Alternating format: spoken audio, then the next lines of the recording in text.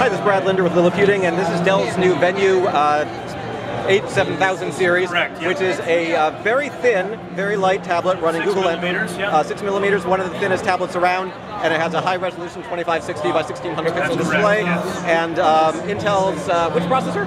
Uh, this is the uh, Moorefield. Intel's Moorefield processor, processor. and it's also uh, the first tablet of its type to come with a RealSense uh, camera for depth uh, uh, adjustments in photos. So tell me a little bit about how that RealSense so, yeah, camera the, works. The first thing you'll notice is actually that when, when we talk about RealSense, this actually has three separate cameras on the device itself. It's the only one currently that does.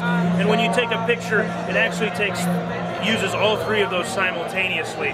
So to give you an idea of what that means is it creates a three-dimensional object in terms of depth. So if I go into a, a picture,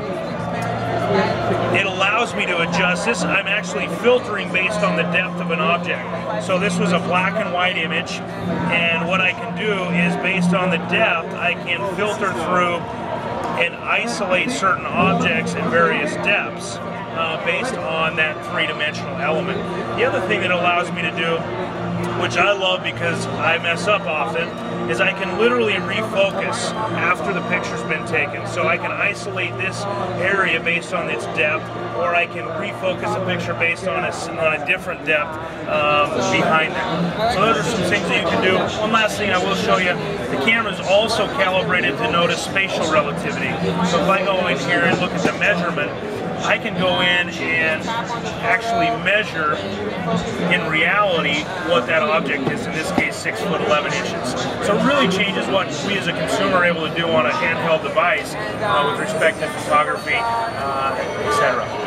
Okay, so RealSense is a technology. There's a couple of different things that we've seen Absolutely. grouped under RealSense. Uh-huh. Some devices have 3D cameras Correct. that you know let you sort of do gesture recognition. This isn't that kind of RealSense. Instead, it has that depth sensing. So when you're creating a photo, instead of just snapping a single 2D image, uh, you've actually got extra depth in it. Now, if I wanted to export these photos, I can basically edit it, Correct. save it as a JPEG, and email it to my friends. So yeah, it is a JPEG with some metadata, uh, metadata built over the top of it. So if my device is optimized for depth, then I can do all this. If it's not, it just looks like any other JPEG image. Yep. Uh, this tablet's available now. It uh, launched during CES uh, for about Yeah. $399. Correct. And um, again, even if you don't want the 3D sensing technology, it's uh, one of the thinnest, lightest uh, yeah, Android it tablets around. the thinnest uh, tablet in the marketplace. Yeah. Um, it just won the Best of CES award uh, based on its form factor, overall performance. Right, and it's got that um, Intel's Moorefield processor, high resolution display, Correct. and Android software. So that's a look at Dell's new Venue 8 7000 series Android tablet with Intel RealSense,